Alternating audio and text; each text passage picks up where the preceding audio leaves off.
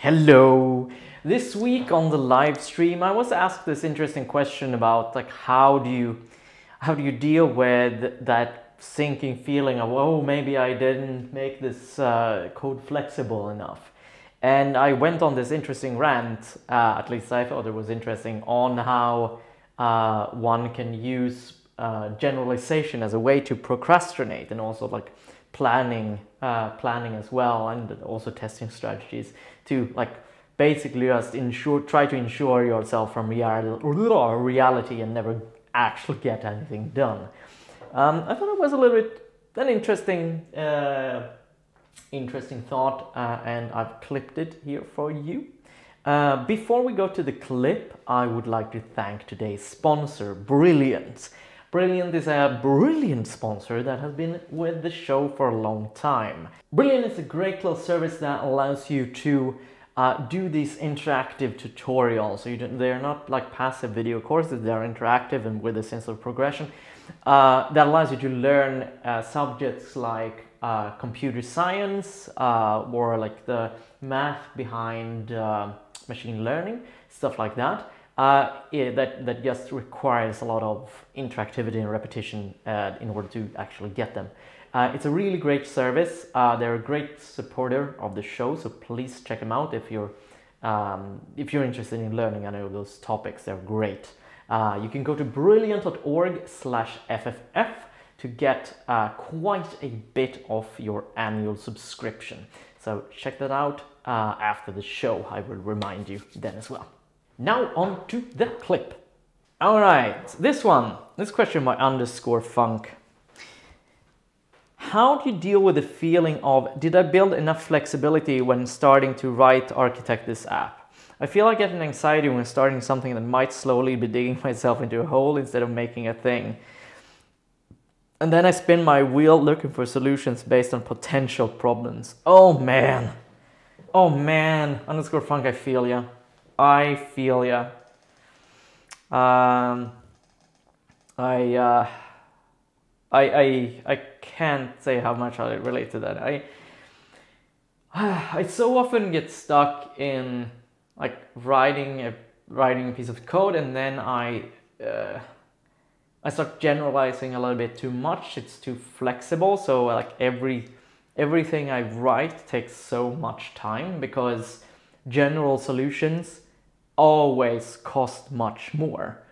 Um, a lot more, actually. Um, and, you know, I think that perhaps that's a good proxy. Recognizing the fact that general solutions, wide solutions, are ludicrously expensive. I kind of like demonstrate, found this when I was writing uh, the um, the video this week that I posted uh, this Monday was about like I wrote this little habit tracker thing, and that thing, I just dirty coded it like like laser focused on just getting it done and also getting it done for just me, like not a general solution. So it's a habit tracker that it's kind of like it goes green uh, and then I uh, like if I don't do the habit, which is like bring my bring food to work every day, um, then it goes red and it goes yellow and then it goes red the next day until it like breaks the, the streak. Uh, and it resets itself at midnight every day. And the thing is like midnight is a little bit tricky thing with time zones. So I just went with the Unix epoch because that is UTC uh, time. And it's not quite Swedish time. It's it's like 1 a.m. and 2 a.m. depending on daylight savings times. But that's close enough for me. You know, this code won't work for a US person, um, but I just went for it. You know, it's not perfect. It's a little bit off, but I will never notice that because like the switch is in the middle of the night anyway. And I really just needed it to work for my case. I just wanted a prototype to test how this feels, you know? I'm not sure if this is even a good way of tracking habits. just wanted the prototype, and for that purpose, it was like, and that saved so much time because getting like time zones to work in that thing would have taken a, a gargantuan amount of time. It would probably be like the majority of the time I even spent on the project. Uh, so I like, went for it. Uh, so I think that you should be very defensive about generalized solution and try to make things as dirty as possible and instead like be more overt about like this is a prototype that we are trying. Like we and only make the like fancy thing once you're very very sure of it. Um, like general things are yeah generalization is is dangerous i would say. It's dangerous. It's uh, i've did, like i found i found that much more projects have been destroyed by things being too general rather than them being too narrow. Underscore funk says oh i want to write this thing? Wait i should do tdd wait how do i even test this? That's the story of my life. That is why we don't have an overlay that has has uh, twitch uh, that's Twitch integration. You know, like, uh, I think I should just dirty code it first, make like a version that is buggy and shitty, and then write a nice version, maybe. Like it's it just I tend to be so stuck in it, you know. Mm-hmm. Oh. Catsink, I so suffer from over planning things too early. Yeah. You know, like, um, this is actually a procrastination technique. Um, uh, over planning. It's um, me dropping pens constantly. Um, it's, it's a thing so that, like, it's a, you have to understand that it's a compensation technique that you use to um, to, to prevent you from facing reality. Because in a planning stage, your product is perfect. You don't need to deal with reality. You can just ignore reality. Uh, planning is sort of like a map of reality. You know how a map is not actually a picture of a city? It's just a simplified model of the city. And it's the same thing with planning, uh, that when you're in the planning stage, you can dream up that reality is easier than it is. You don't, like, nobody ever writes hacks into their planning. Whoever does that? No, you don't, because you're just planning and you're wishing for reality to be nice. You're, you're thinking like on the planning stage, your, your code is still like, hmm, this architecture is so nice. Mm, I, I, cover everything, you know? Um, so I think that like planning is there for like this, this perfect, you can live in your fantasy world. And like another variant of it is to write frameworks because frameworks frameworks are great. Because when you build a framework you you don't actually have to deal with a real problem. You can just invent an imaginary problem that doesn't have the edge cases that are nasty to deal with. So you just write a framework. Um, that is like that's why frameworks are so great to procrastinate with Underscore Funk says, follow-up question. So I should, uh, should, should you just skip things like TDD when just hashing out a prototype? I would say yes. I would say yes. Um, this requires though that you actually throw away the prototype. I think that like for me, I've found that it's very important when doing prototypes to write them very badly. Very badly. You can't write a prototype that is sort of good. Like if you're not writing with tests, don't write with architecture. Write fucking garbage that cannot possibly be used. Like it, it needs to be like the, the code and whole thing needs to just scream rewrite like don't do a nice design on it either like or maybe like yeah, like it's just that is dangerous because uh, if something is too good it's going to be used reused so it has to be like under that level um, Robert Tables says, oh, this is good. This is good, Robert Tables. Premature abstraction can be much more deadly than allowing some duplication to arise. This truer words have not been spoken. Make it work, uh, then make it good, and if you need to, then make it fast. Yep, yep, uh, that's also very, very good. Uh, yeah, like I, I think that it's one of the most important things I learned as a software developer is to allow duplication to arise before removing it. Never anticipate duplication.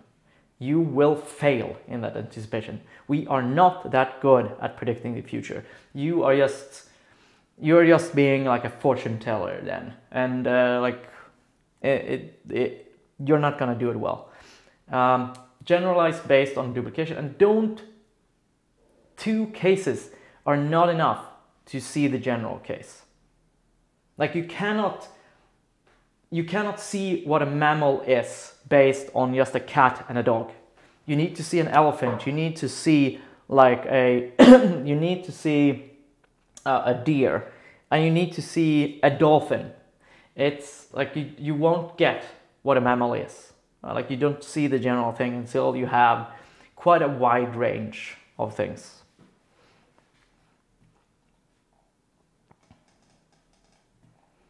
Um, Surly Dev says, I've seen it argued that TDD can be useful when prototyping. One specific example is when exploring a new API. Oh, interesting. I actually think that I found that TDD is uh, really bad when developing APIs. I always do an exploration of the API first before writing tests. That's actually like a the case where I never do TDD. Interesting that somebody says that.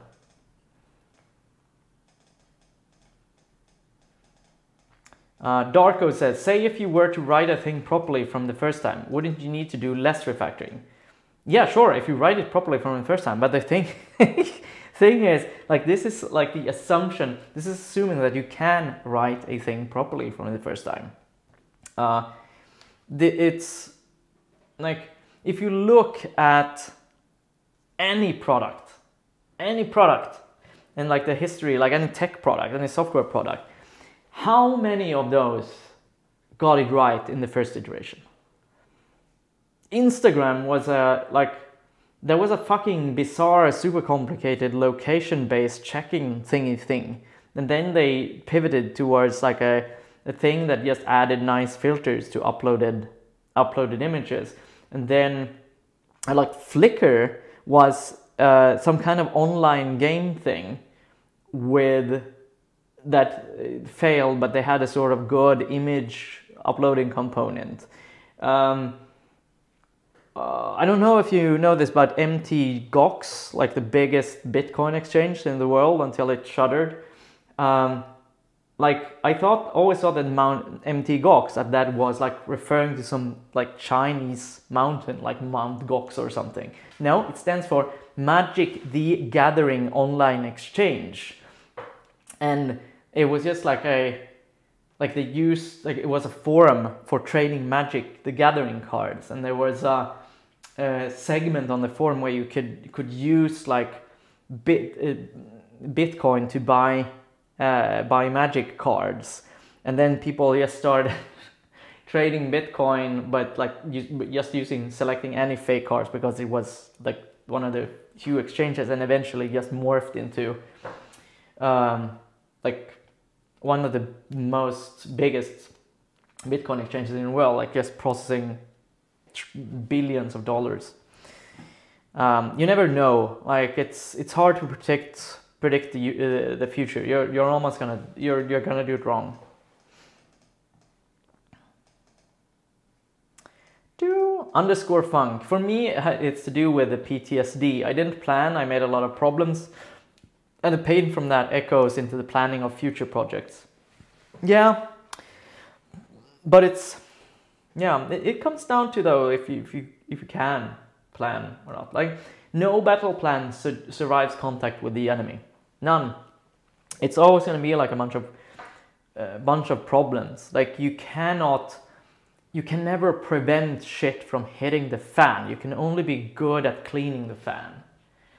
Um, it's much better to invest in your shit cleaning skills than your shit velocity projecting skills because they're gonna hit. They're gonna hit. Like your servers are going to go down. Like you, there's going to be a critical bug hitting production, and you need first and foremost to be good at like identifying problems and redeploying fast, um, rather than trying to never have any problems in the first place.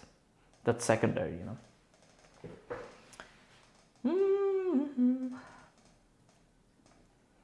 And it's, it, this also is a lot related to where your product is in the cycle. If you're doing like, if you're not, if you're very sure about like what it is that you know works, like Spotify, for instance, like it's, it's a thingy that streams music. Like there's not a lot of experiments, experimentation space. Spotify is not suddenly going to pivot into a car sharing service. Um, we know that. But in the early stages of a, of a startup, like the code has a very low chance of survivability. Uh, TDD is a waste of time. Don't tell your interviewer that. Yeah, like TDD is one of the most valuable tools in my toolbox. Um, but I find that like it's important to like it's important to like it's good when you know sort of where you're going uh, when you know like sort of what the API is. Uh, but you like TDD is way too much shit when you are doing complete exploration. When you when you like when you have no idea what like the, what the feature set is gonna be like and like when things are gonna be like highly highly likely to be thrown away. Like it's the point of TDD is to add some inertia to your code so that it doesn't change as fast. And when you change it, you, you do it very carefully so that you don't accidentally change something. Um, and that's the same thing with static typing. It adds, it adds inertia. Like the inertia is what we want. You don't want to be able to refactor your code base into a car sharing service. You want the changes to be very, very slow and methodical. And MPJ says TDD. It sounds like a honking car. TDD. Dracproof says, because MPJ is a transformer and his vehicle form is a truck. Honk. Thank you so much for watching. Uh, this was a little clip from the live streams I do every Monday morning. You can find them at twitch.tv slash funfunfunction. Don't forget to check out our sponsor Brilliant. You can find a link in the episode description uh, that gives you a lot uh, of discount on your annual subscription if you want to sign up for that. Uh, if you're new, this is a show about programming. Uh, you can uh, you can also subscribe to more clips like these here. Uh, and uh, if you want to check out more about what this channel is about, you can do so here. I am MPJ. Until next Monday morning, stay curious.